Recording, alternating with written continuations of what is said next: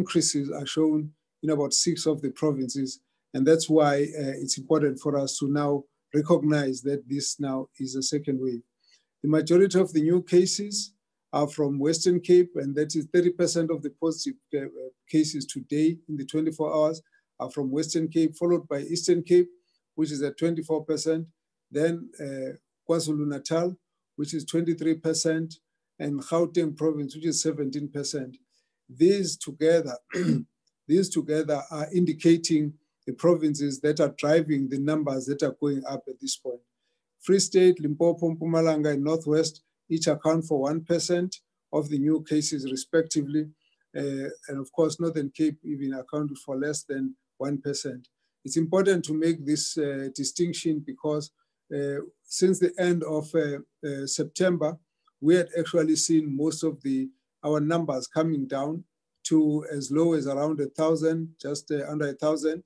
But now the numbers have started increasing. They first moved to about 2,000, but now they've moved much higher than that.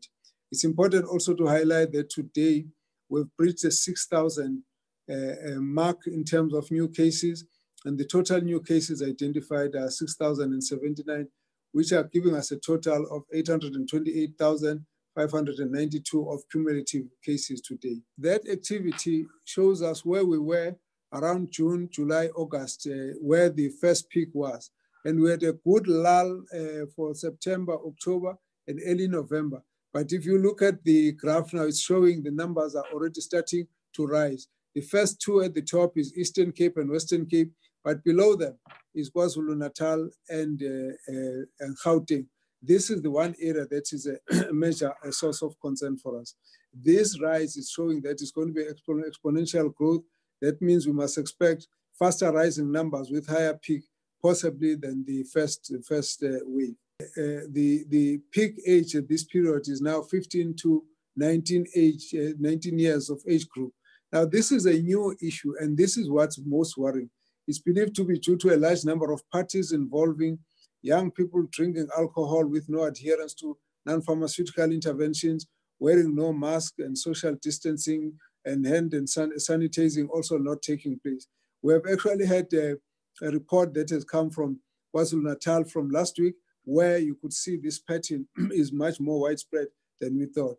This inevitably leads to super spread activities which spill over into the rest of the country as the age group is highly mobile and the majority of the carriers uh, are largely asymptomatic. I think it's important to send a message to all uh, South Africans that uh, uh yes, festive seasons are the, the uh, time for us to relax and enjoy with our families. It's time for us to enjoy, but we now need to understand that we have got a responsibility to enjoy with uh, various restraints. And these restraints are to make sure that it is not um, you know, a responsible way to enjoy yourself uh, to the detriment of other fellow South Africans. If our enjoyment is going to lead to more people being uh, you know, infected and getting sick and getting admitted into hospital, and even some losing lives, it's not a responsible way of uh, enjoying ourselves. So we need to then be prepared to enjoy a festive season with a difference